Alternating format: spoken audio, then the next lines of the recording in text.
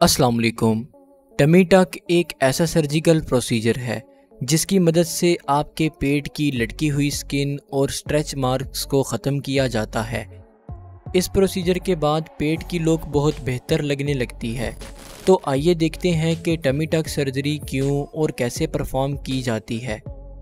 ज़्यादातर extreme weight loss के बाद हमारी स्किन पेट और चेस्ट एरिया में लटकी हुई रह जाती है।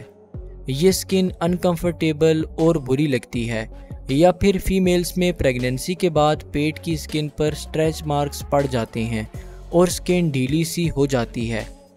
तो ऐसी स्किन को ठीक करने के लिए टमी टक का प्रोसीजर परफॉर्म किया जाता है।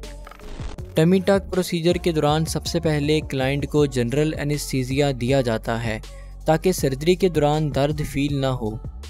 इसके बाद सर्जन पेट पर बिकनी लाइन के पास एक कट लगाता है और स्किन को खींचकर एक्स्ट्रा स्किन काट देता है।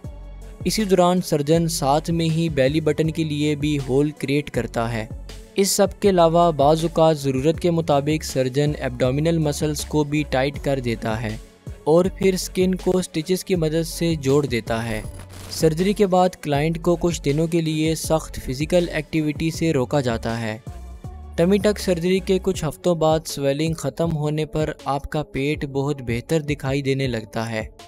बाकी सर्जरीज की तरह टमी टक सर्जरी में कुछ रिस्क शामिल होते हैं, जैसा कि इन्फेक्शन, ब्लीडिंग, स्कारिंग वगैरह। अगर आपको कोई इन्फेक्शन या ब्लीडिंग हो रही हो तो अपने डॉक्टर से ज़रूर रजू करें। शुक्रिया, अल्लाह हाफिज़।